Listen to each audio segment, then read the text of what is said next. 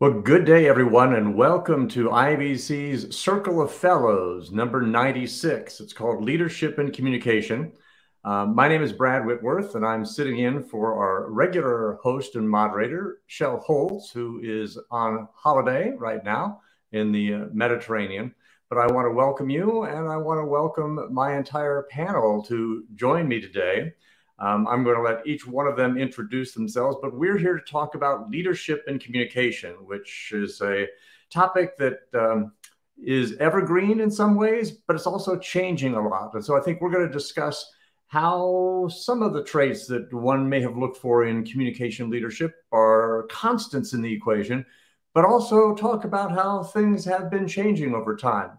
So um, I'm going to go on mute and let maybe Diane, why don't you go ahead and say uh, hi to the crowd? Hi, everybody. I'm Diane Gayeski from Ithaca, New York. I'm a professor of strategic communication at Ithaca College, and I practice what I preach through Gayeski Analytics. And um, Mark, why don't you say hi to the crowd from uh, Texas? Hey there, I'm Mark Schumann, and I am a certified executive coach and I spend all my day and some evenings helping leaders communicate. And right now, that is a bit of helping leaders adjust to the new world of what people look for from them. And, and the fourth, the fourth person, person is, Jane Mitchell. Jane Mitchell. Hi there. Hi, everyone. Um, great to be here from the UK, where we finally have some sun today after torrential rain. Um, I've been working in the business for far more years than I care to recall. Um, started off in broadcast TV, where leadership and communication was paramount. That still serves me well today in the world of ethics and uh, values based leadership. So I'm sure that we'll come on to talk about everything that we've talked about. Thank you, Brad. Oh, it's a distinguished it's a, panel. Let's talk a little bit just at the very, very beginning about um, this whole concept of what does it take to be a leader in communication? You know, if you were a chief executive officer and getting ready to hire someone for a position, you know, what kinds of skill sets, what would you look for in that uh, communication leader? Anybody want to take a stab at starting us off? Well, I, I, I would love to because I think this is a huge change I think at different points in time and perhaps different points in many of our careers, our communication skills were enough to help us land that job. If we could connect words and if we could somehow internalize a leader's voice and put those words into the leader's voice and help the leader articulate those words, then we might have a job. I think it's a totally different set of skills now. I think now we get to help a leader learn how to listen and we get to help a leader learn how to absorb what the leader may hear and and help the leader discover not only communication skills but a, a communication sensibility for those unscripted moments when a leader has to be aware of the impact of what is being said. So i think it's much more of a coaching role now than it is a behind the scenes prep role Uh, I'll, I'll jump in. And I, um, you know, I, I, work with a lot of young people who are about Give to, it a crack. go into the field of. Uh, I think, that, that leadership, leadership in communication comes from the ability to listen. So we cannot possibly communicate as communication professionals unless we're listening to what people are saying. So to your point about what would you do if you had a communicator, a potential communications uh, professional in front of you as a CEO? I would, I would look out for whether or not they're listening to what I'm saying, or whether or not actually the person in front of me is just so anxious to tell me how great they are at what they can do from a tactical perspective rather than are they listening to what I'm saying? Are they going to generate new ideas? Are they going to help me be better as a leader because I'm sitting in front of a communications professional leader. That's where I would go with that.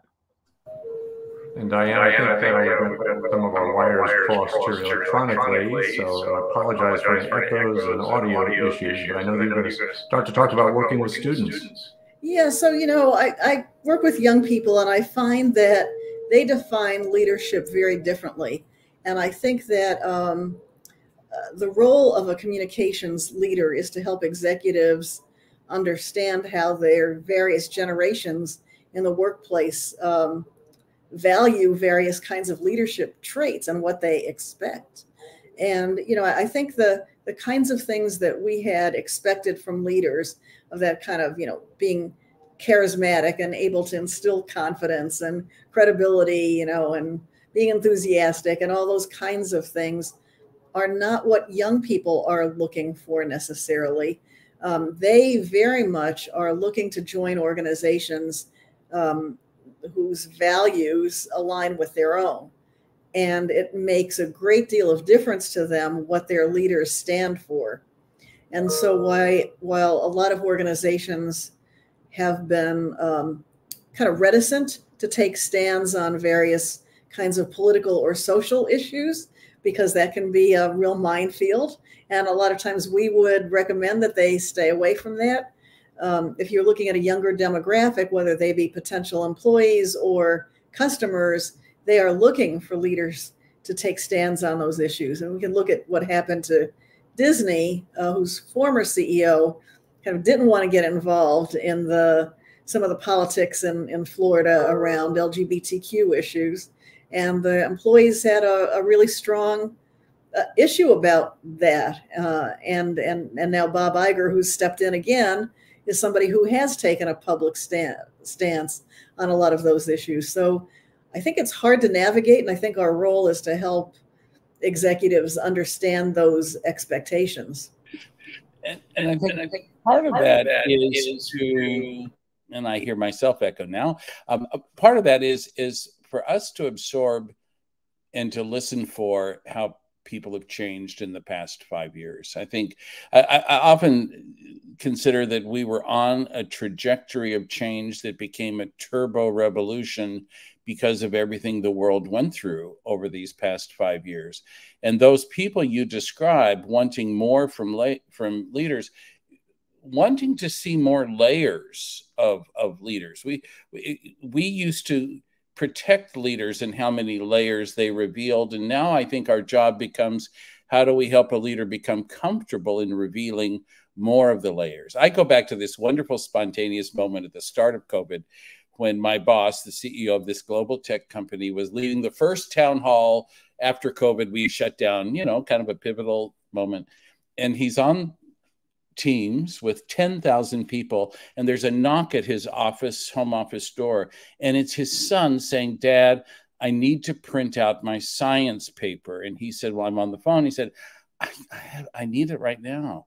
And we got to see this incredible human father son moment. And i told him after the this was over i said you will never go back to being the formal ceo on the stage again and I think that's what this period has taught us. Now, I, I was going to say, if you went and did some stereotypical explanation of what the chief communications officer working with a CEO looked like in the past, um, it would probably have been somebody who had like this strong newspaper background and probably chain smoked and drank martinis at lunch, and nine times out of ten, if not more, was a male. Um, that's changing, and sort of want to get your take on the what's it like today, and is there a future where chief communications officers and those CEO leaders that are working sort of hand in glove look different than what it is that we've seen in the past and what we're seeing today? I'll I'll kick off because I know that we've all got something to say about that. I think that actually, when you look at the IABC demographic, there are a lot of people who identify as strategic advisors.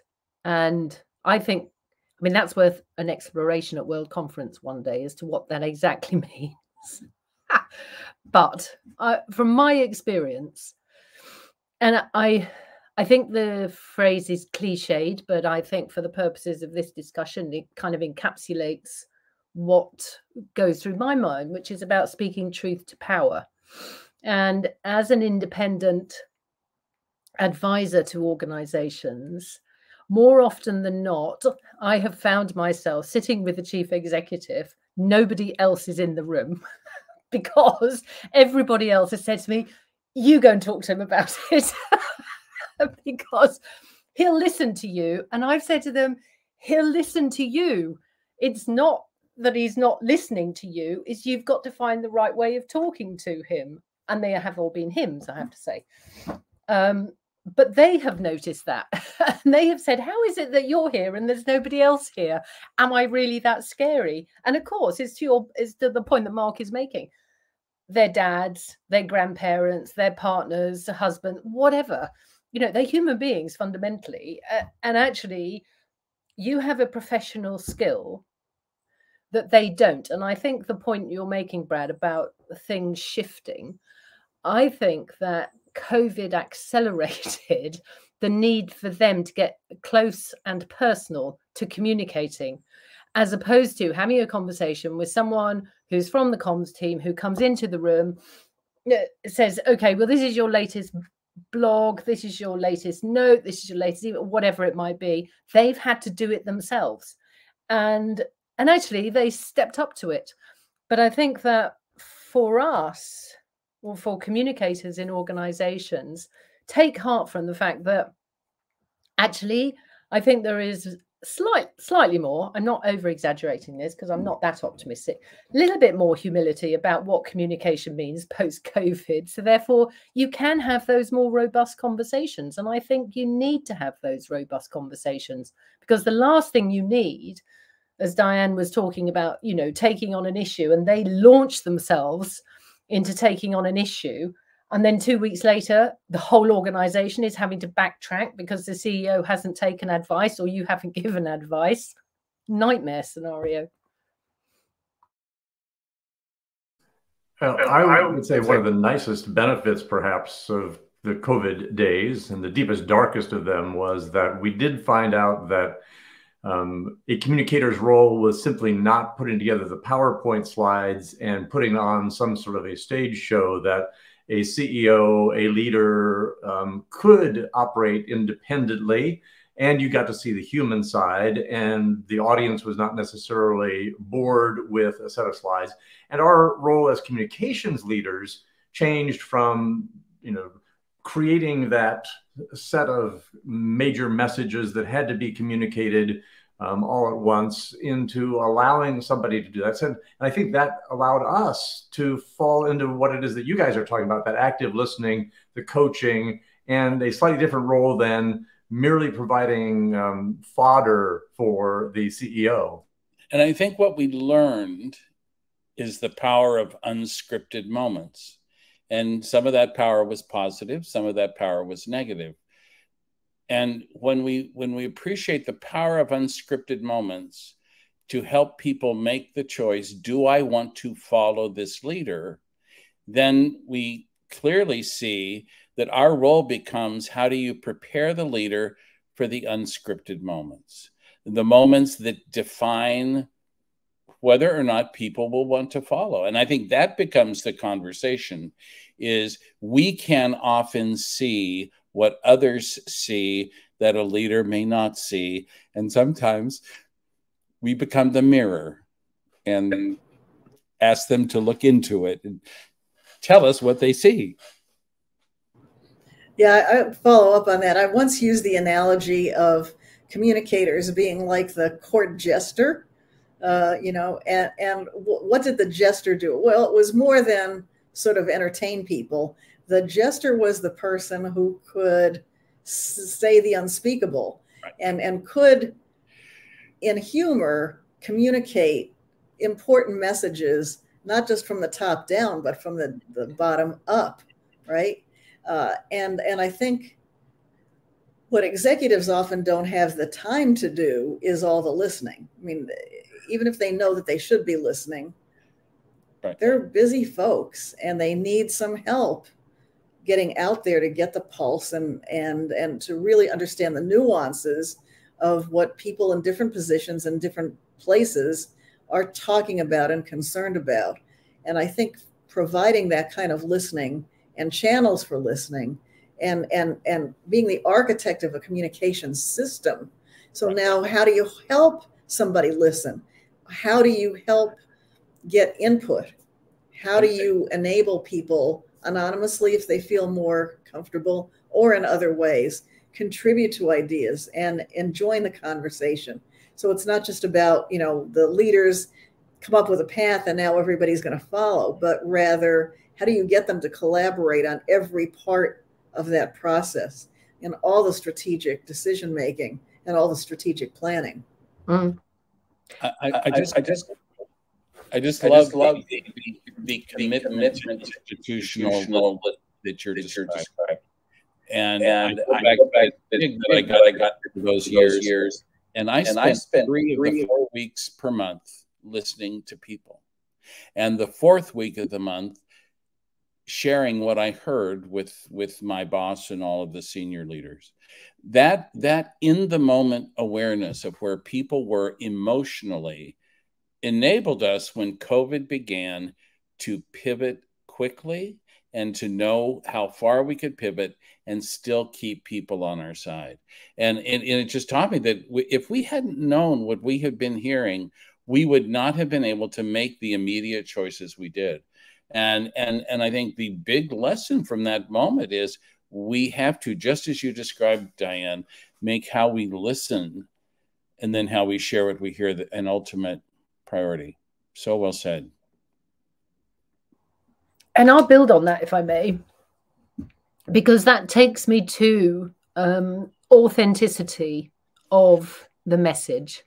How many times have you heard I mean, anybody on this call, anybody listening to it, that town halls haven't been very successful because the top team or even just the CEO maybe post a crisis, maybe they think it's part of an ongoing engagement, has rocked up for a town hall, 200 people in the room, nobody speaks.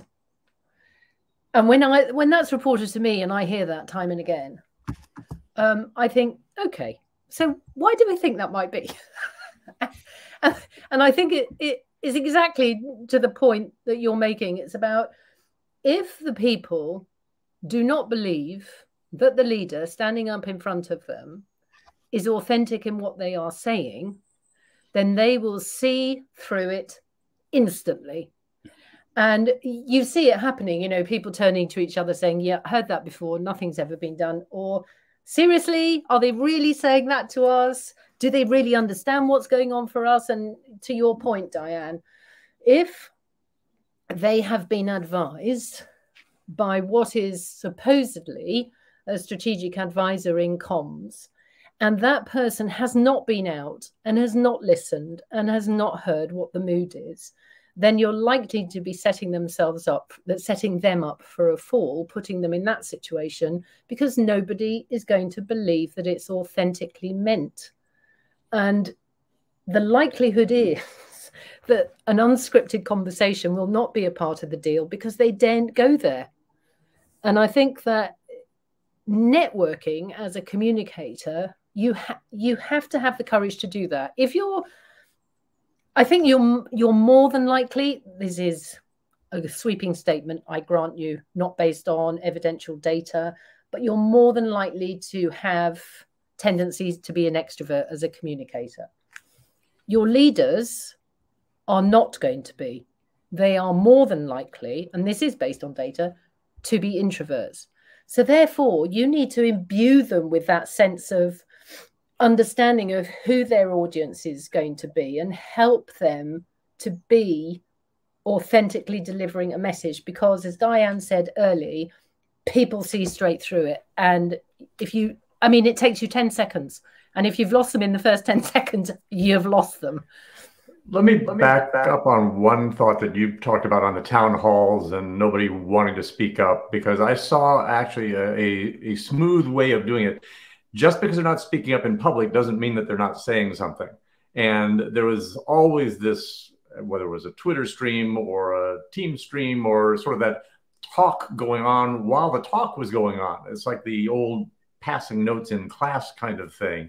And the smartest thing I saw was maybe it's the CEO who's up speaking, but they would have other executives who were in that conversation who could answer and amplify and add some color and commentary. And people were much more willing to speak up and continue to say what was on their mind, not necessarily anonymously, but you know, with an identity, but not in front of the 10,000 that were watching, but in front of the people who were sort of safely over there in the sidelines talking amongst themselves about what's going on.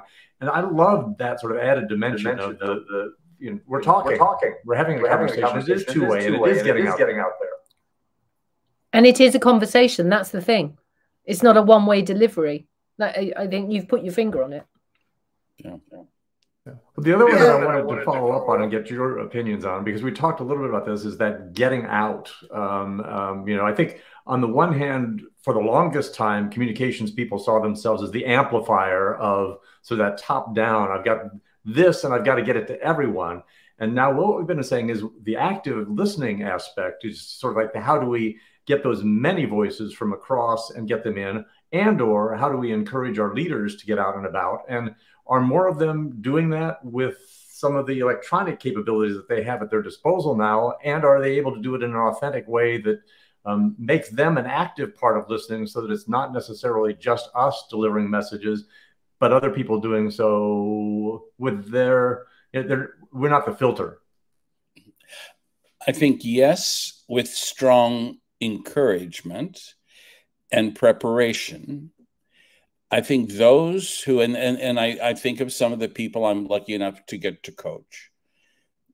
It's not necessarily the first idea they have, back to Jane's very important observation of the introvert which I don't ever let be an excuse.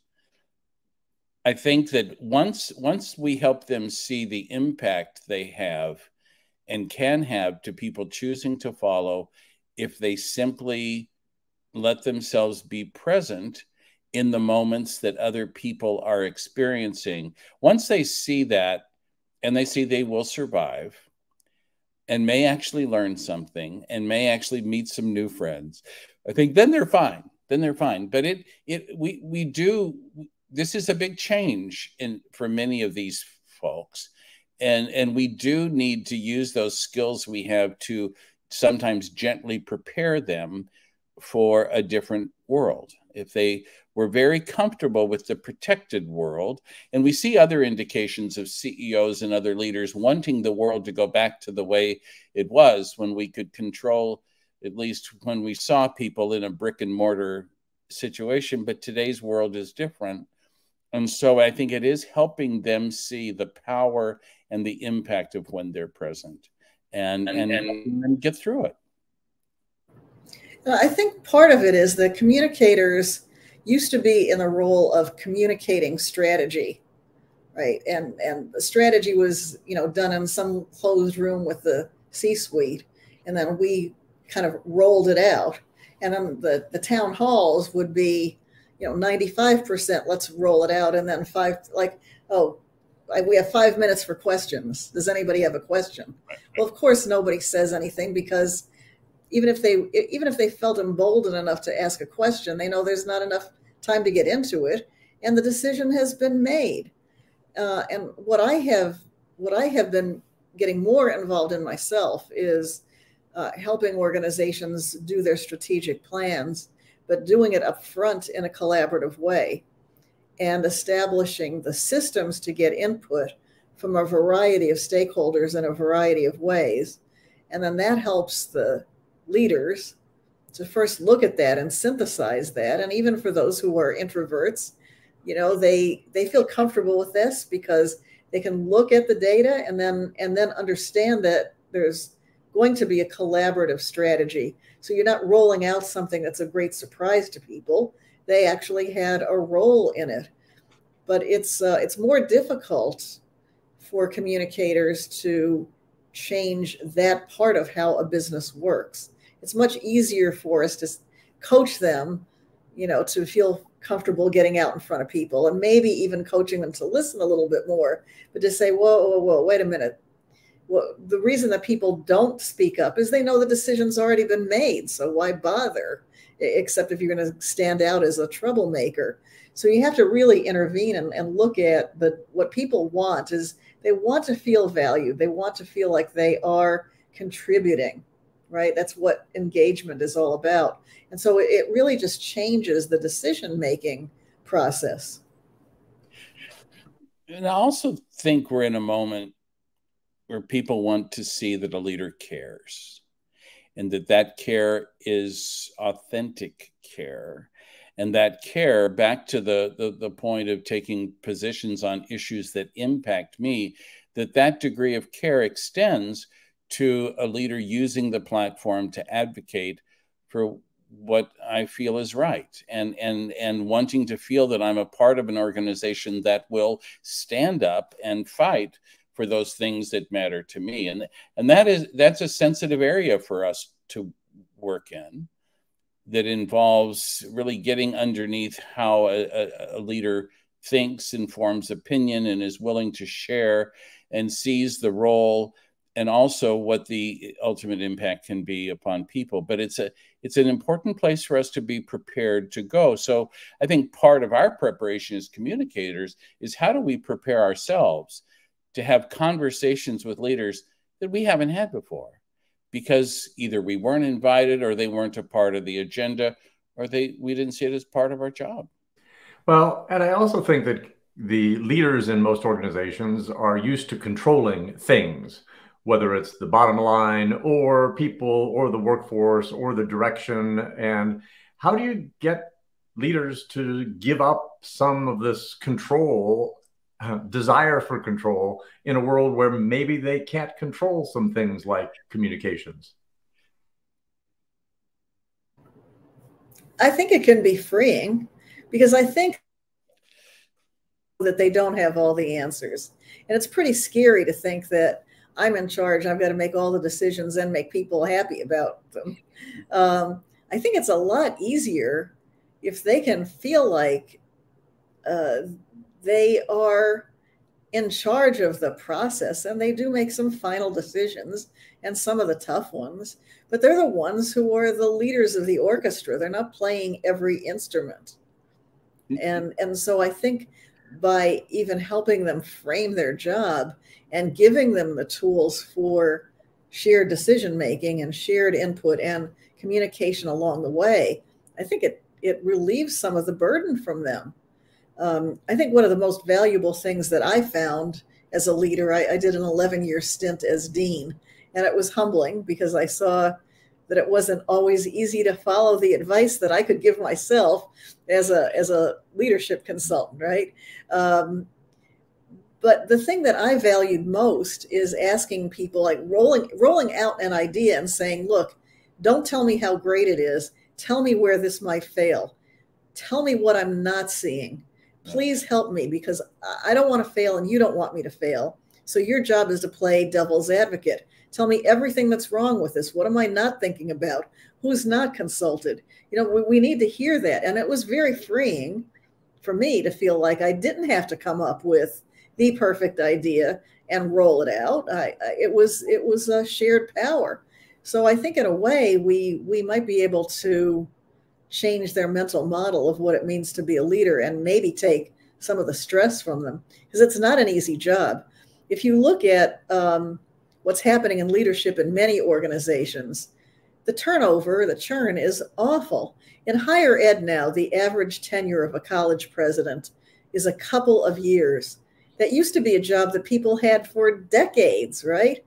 Uh, and now people are leaving in less than a year. There are two of them, in fact, who have gone missing.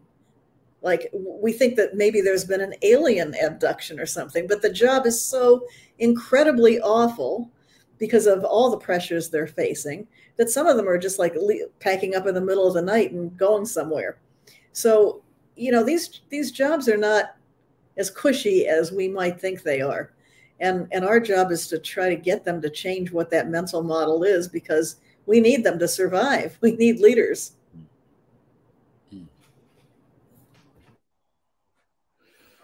And and I think the same the tenure, to your point, Diane, for CEOs is falling as well.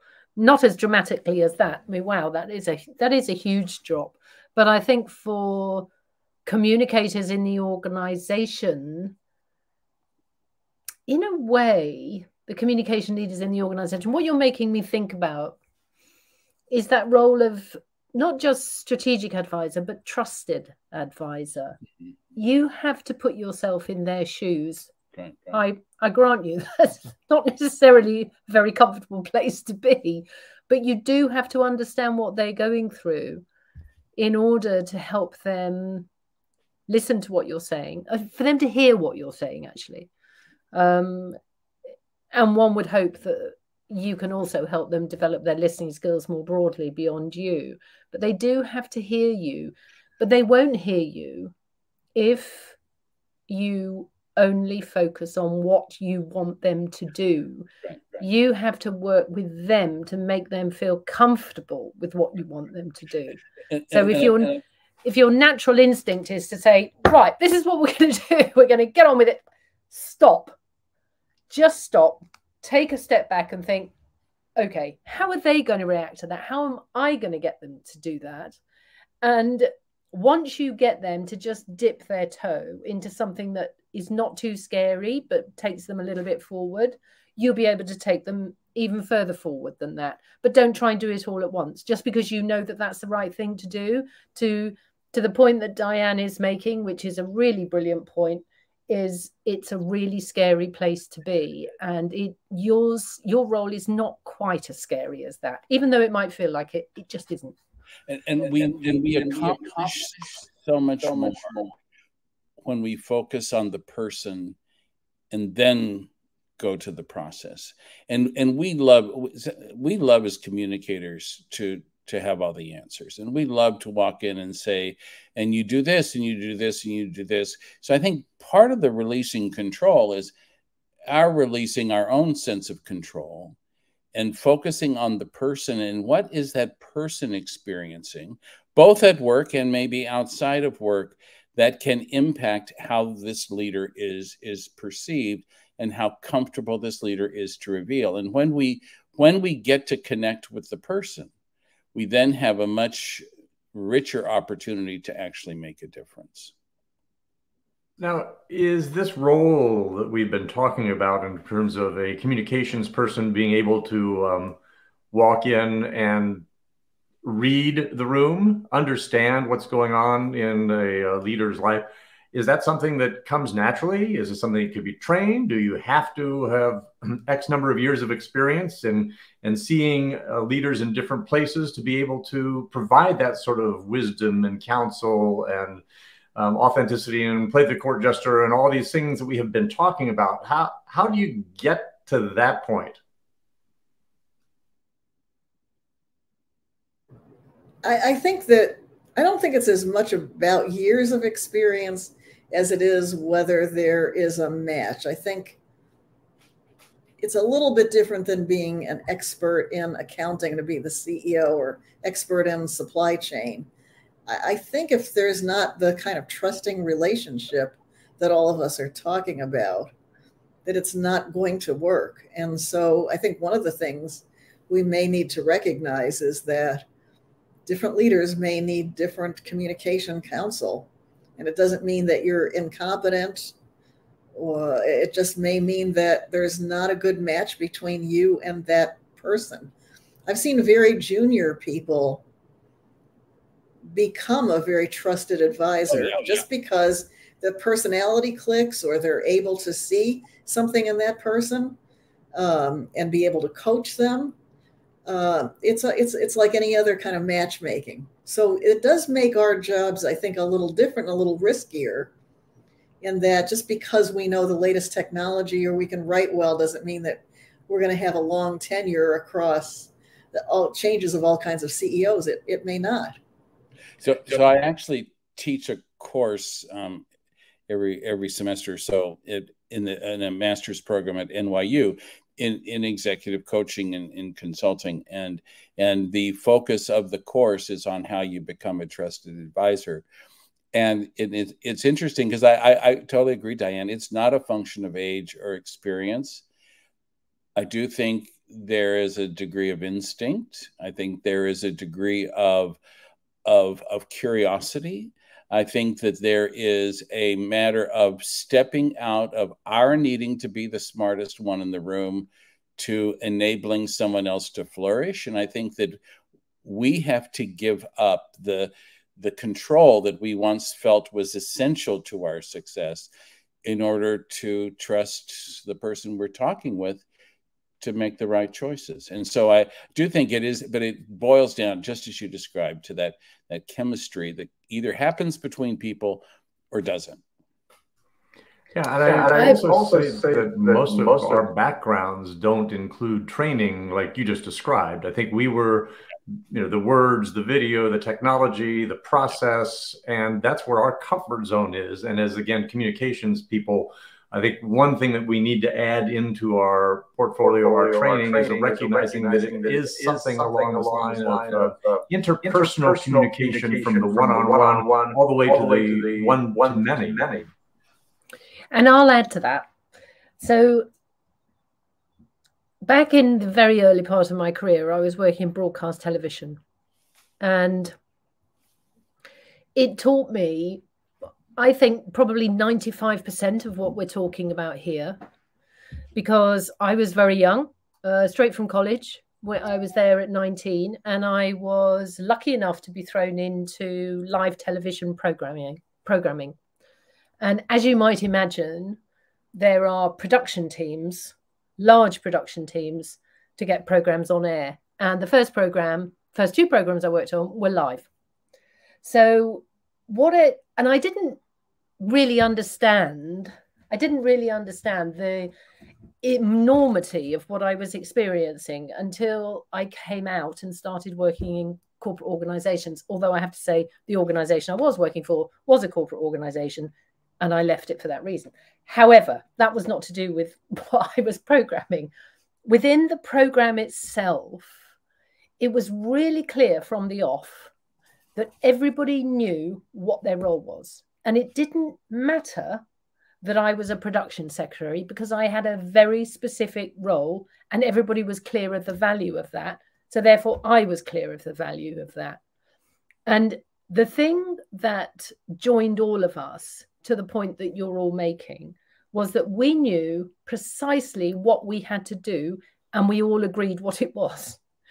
So we weren't, which is what happens a lot in my experience, in corporate world, we will say one thing and do another, or I, as the CEO, will be heading in that direction. But actually, there are some leaders around me who might be heading in all their different directions. And then for a communicator, he's in amongst this mix, thinking, "What the hell? Where where am I heading?" And that I think is a fundamental role for us, is to bring our leaders back to where it is. Where is it that we are all heading? And this is not just about that group over there, that group over there, this silo here, that region, this this uh, business, this part of the business. Let's identify our purpose. Let's head towards that. And the person who keeps those people, leaders anchored in that, is the communicator, because that's what you're there to do. And and that I think is really critical, binding what Mark and Diane and Brad said as well.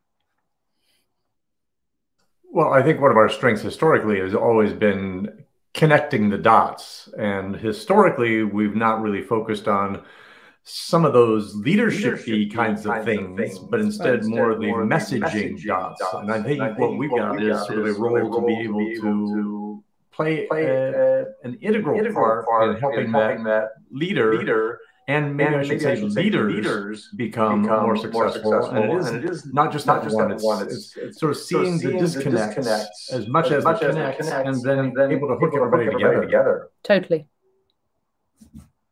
Totally. And, and, to, help, help leaders, leaders recognize, recognize we're in we're a moment. In a moment. I, I, have shared this story before, but it, it always reminds me why we have to free ourselves from what we think a moment is about to truly be in in, in the moment. And it, it is a, a, day many of us remember, the day of the Sandy Hook um, tragedy, December 2012. And I was working at the nearby hospital that was the destination for any survivors and was also the destination for every name in broadcast news in the eastern United States because there was no other place to go to get a story. And my boss, who I adore, was a doctor. He's not comfortable. He was new in the CEO role, didn't really know what all this was about. There were some well intentioned communicators trying to give him message points. And I had to have one of those moments when I said, I think I need the room. And I looked at him and I said, why did you become a doctor? And he said, It's a lovely question. Could we talk about that later? And I said, No, I'm serious. Why did you become a doctor? And he said, Because I wanted to heal people. And I said, And today we need you to be a doctor and heal people. Don't worry about the message points. Don't worry about who turning on the camera. Don't worry about any of that. Be who you are. And I think sometimes the most important counsel we can provide is to let leaders be who they are in the moments that demand they be who they are. And that's letting everything go and trusting them.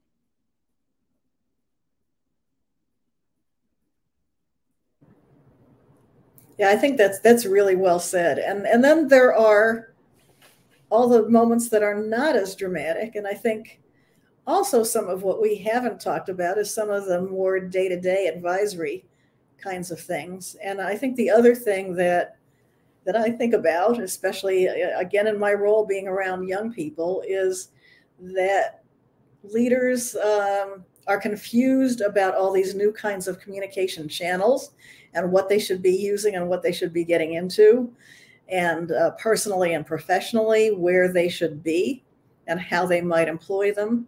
And I think we have to be the ones they would uh, expect us to be the ones who could guide them and be the ones on top of that kind of research and being able to fill them in quickly about how to use these channels right? I mean given all the authenticity and the trust and all, all of that that we're talking about there is there certainly is there's still part of that. I think all of us came from some kind of broadcast or newspaper kind of background but there is still a technical part of it that we can't completely give up or we're going to we're going to miss out as well.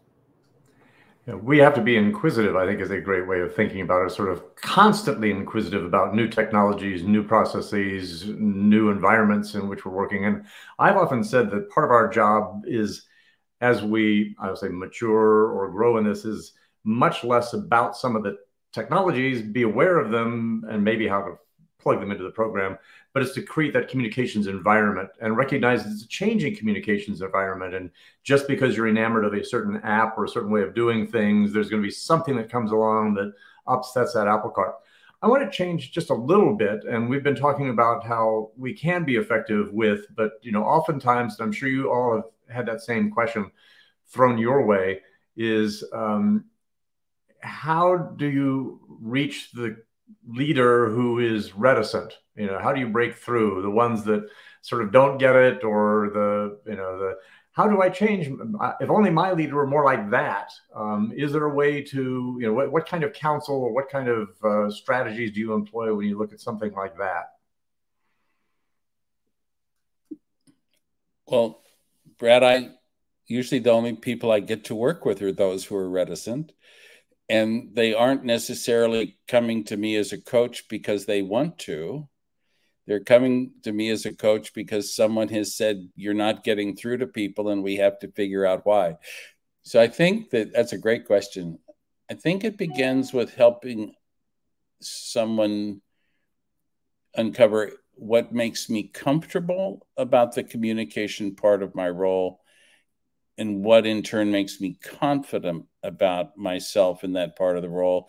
And if i can kind of figure help help a leader discover those two things my comfort and my confidence then that can then charter a path for how we might travel.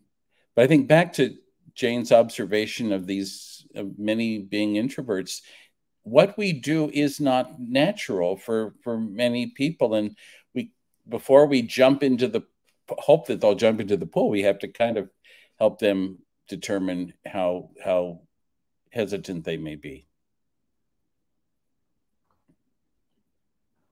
I think there's another type as well. And I, uh, funnily enough, I was, I think it is a great question. And I was thinking, I hope Brad doesn't ask us this question. but I was thinking, I was thinking that there will be people who are listening to us and watching this who are thinking, well, that all sounds really great and utopian. But what if I have a boss? First of all, the reticent one, which I think is more manageable. And I do think that actually Mark's guidance and um, understanding of that is is really good to hold on to. But what if you have a boss who really thinks that he or she, um, and I'm sure that we can all think of people in the public eye and in business who think that they know how it is, and therefore you're just there as the lackey. they you're there to just press all the buttons and do what is asked of you. What do you do in those circumstances? And this came up at an IABC session that we had in our AGM in June, actually. And um, it was asked by young communicators. And they said, well, what do you, what do, you do then? Because the subject of the discussion was excellence in communication. And, and there was a group of five of us, and all of us said, this is the point at which, if you have kept going and if you have tried, what you believe to be the right thing. If you have joined dots, if you have worked with other leaders to try and understand where this person is going and you are not getting through, that is the point at which you have to make that courageous decision for yourself and your organization. And back to Diane's earlier point is this is not going to work. This is a relationship that isn't going to work because you will not be able to deliver your professional skills at the best you want to be. And therefore, you won't be able to do it for them or the organization or anybody around you, really. And I think that you just have to bite that bullet when that happens. I I don't think I think as we're saying, you know, they're all human beings, so they come in all sorts of shapes and sizes, moods and ways of doing stuff, and it it is the decision that you have to make. I think.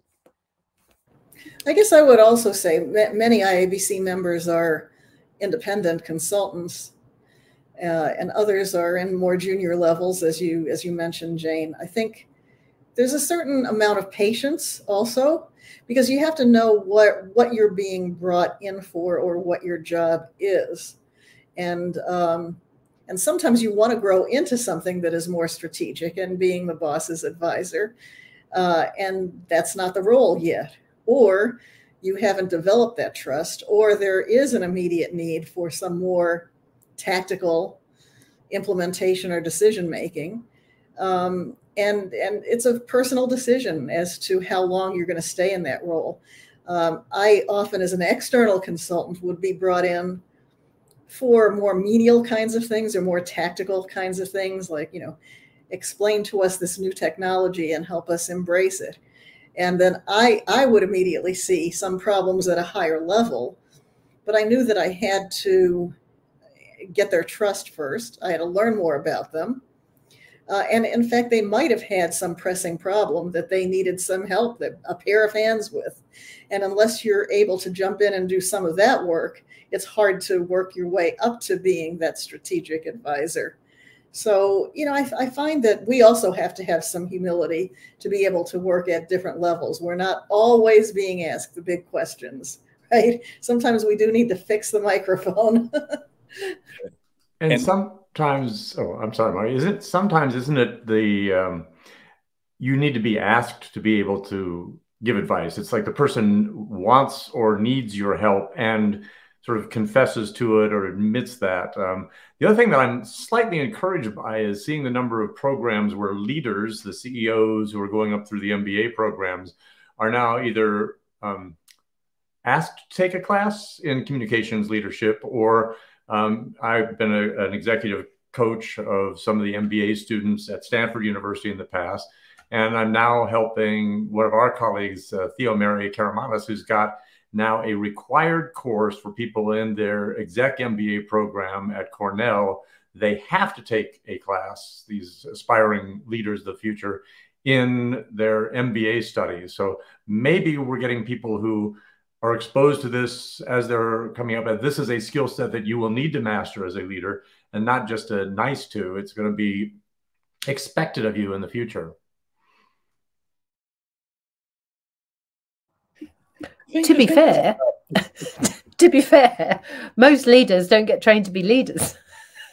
they they get trained to improve the bottom line. That's the issue.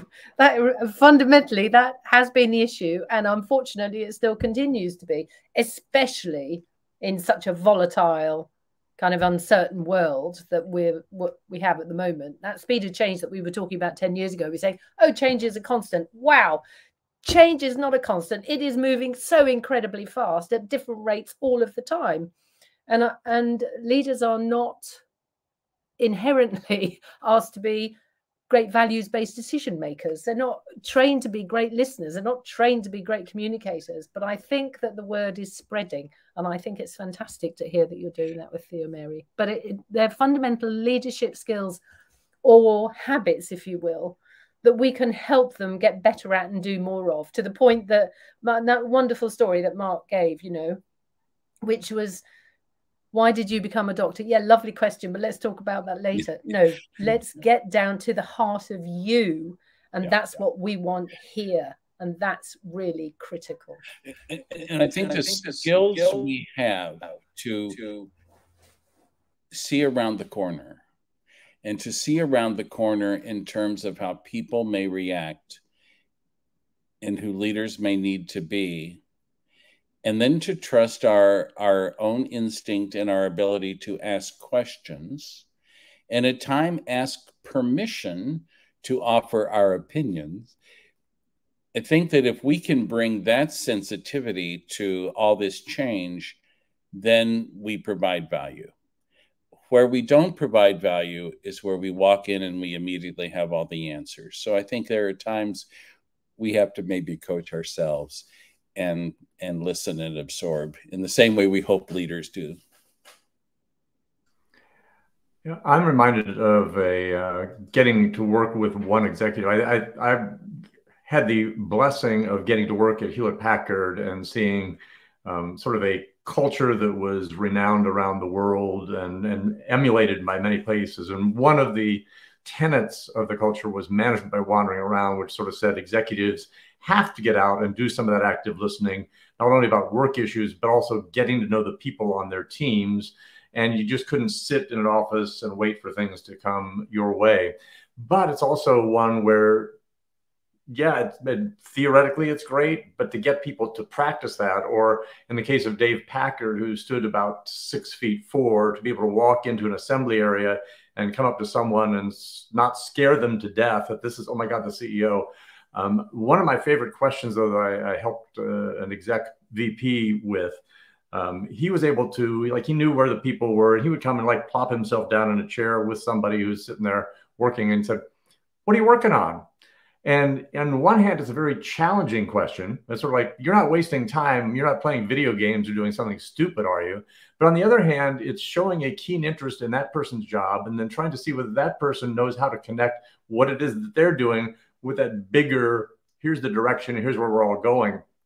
And i had one of those people who was um, asked that question come back to me and say this is the first time any top leader has ever come and asked um, what it is that i was doing. And you know and you know what happens is that person goes and tells all of his or her friends and and that kind of networking and that kind of messaging behind the scenes is so powerful. I mean, there is a symbolism to communications as well as some of the um, active, sort of pragmatic on the surface stuff that we're probably more used to dealing with and, and worry about.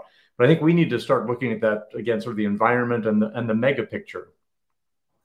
That's a really that's a really great example that spring that uh, brings to my mind an example of a leader who was trying to get his team big team, a couple of hundred people, not to work so hard because they were overworking, which meant that what they were doing was suffering in a way that he could see. And he wanted them to be clear headed, making great decisions, coming up with terrific new ideas, etc., etc. And he said, Look, you don't have to start work at seven o'clock in the morning and you don't have to leave at seven o'clock at night. Trust me when I say that to you. Okay. So, what did he do? He continued to come in at seven and leave at seven. And what did they do? Look around and think, well, okay, I heard what he said. And he genuinely meant it. and he was really surprised. He couldn't understand why everybody was still doing it. So I said to him, Have you thought that maybe what you're you're talking about, Brad, is that that symbolism of what you're doing, in spite of what you've said, is really terrifying them because they they love you and they believe what you said, but actually you're still doing it. Yeah, but I have to for so and so. Well, do it somewhere else then. Come in later and just convince them that actually you did mean it and that you do want them to do that. But that, of course, to your point, Brad, is not traditional communications advice but it is a way of communicating and therefore if you can be build up that relationship of trusted advisor and hear what's going on see what's going on then you can be incredibly useful